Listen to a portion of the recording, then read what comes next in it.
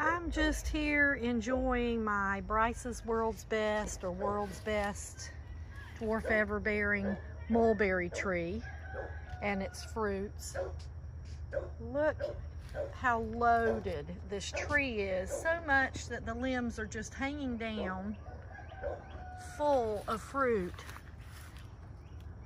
Now, I wouldn't consider this maybe my top five in flavor, but I think it, they're really good. Just to me, I'm just such a sweet um, addict that I love more sweetness to me. So something that would taste like the top five flavors would have to be super sweet.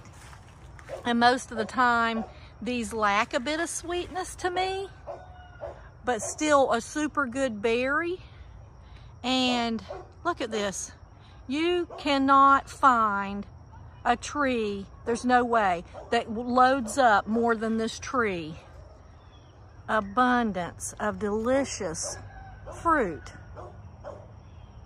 It's incredible. I mean, to the ground with fruit. And I, I just came home from a two week trip and just was so excited and happy to come out here and find some ripe fruit.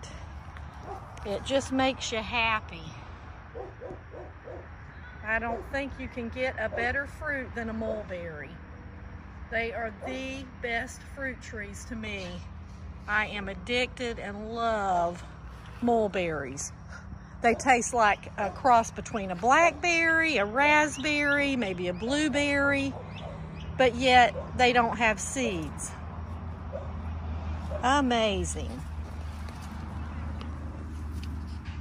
Just delicious. I love to eat them fresh and then my grandbabies come over and run from tree to tree and eat them and have 12 grandbabies and seven children and we just so enjoy the abundance of mulberries and you can put them in the freezer we have even lots to freeze that I like to make smoothies out of them and some of my grandbabies love to eat them uh, frozen as like a little frozen treats and then you make jelly out of them, syrup, so many things.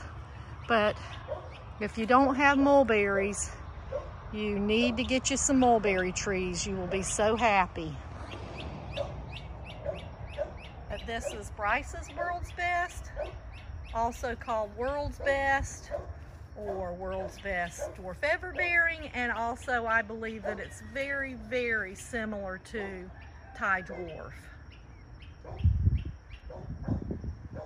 Loaded with delicious fruit. All right, have a great day.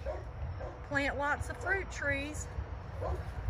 Central Florida, Zone 9B. And about 100 chill hours.